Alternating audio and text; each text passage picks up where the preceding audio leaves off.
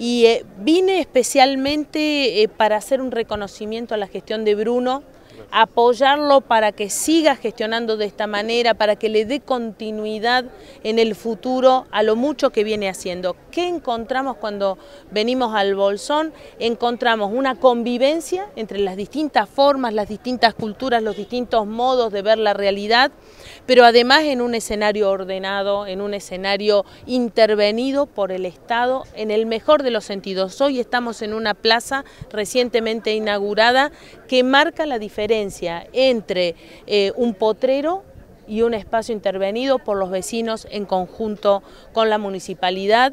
Y bueno, la verdad es que mm, se lo digo siempre que vengo al Bolsón, la noto distinta, estamos haciendo, por ejemplo, el acceso norte juntos y ya ese ingreso da una imagen de una ciudad pujante, de una ciudad en crecimiento, de una ciudad que integra a todos sus habitantes. La verdad, eh, una alegría participar de un aniversario cuando tenemos tanto para mostrar.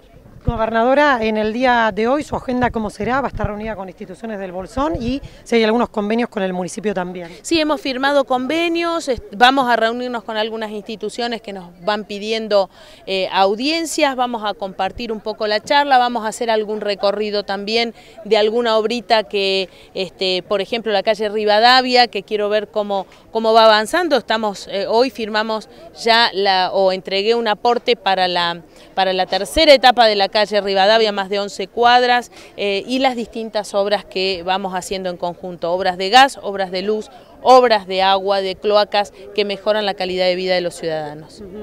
Arabela, bueno, nuevamente el Bolsón en un aniversario y teniendo que dar cuenta de un incendio forestal, parte de su discurso hablaba de esta situación, cambio climático, toda esta situación hace que los incendios lamentablemente sean cada vez más frecuentes. En este caso se está hablando, el split marca de un incendio intencional. Bueno, los vecinos están pidiendo herramientas más, más firmes como para poder lograr controlar eh, quiénes son los responsables y culpas, condenas para los responsables de estos incendios. Sí, por supuesto, como todos saben, no es sencillo dar con los autores materiales de hechos como estos en lugares alejados donde no tenemos cámaras, donde no tenemos testigos. Por supuesto la investigación se hace eh, y además tenemos que entender que es parte de este escenario nuevo eh, antes un incendio grande era algo que ocurría cada 7, 8, 10 años cuando el bosque encontraba un nivel de saturación de materia inflamable.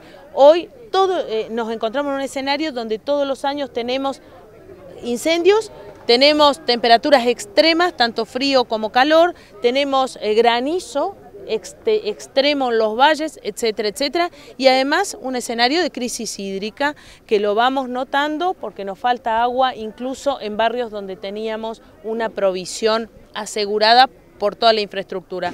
Por lo tanto, creo que en conjunto tenemos que tomar conciencia. El medio ambiente tenemos que cuidarlo entre todos, el cambio climático es una realidad, el calentamiento global lo vivimos, lo palpamos, ya no es un discurso de algunos pocos ambientalistas, creo que lo tenemos incorporado entre todos y tenemos un gran grupo etario aliado para el cuidado del ambiente, que son los jóvenes, los niños, porque ellos saben que es su planeta el que tenemos que cuidar. Por lo tanto, eh, hay un fuerte compromiso tanto del gobierno municipal como nuestro para poder contribuir a este cuidado.